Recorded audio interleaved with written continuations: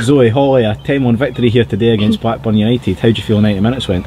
I thought uh, we've played better in recent performances, and I thought the first half was a bit scrappy, and uh, I don't feel like we were as motivated as the other team to win the ball back. But other than that, we were able to put 10 goals past them. And Holly, you got on the score sheet today. Can you talk us through your goal and more importantly your celebration?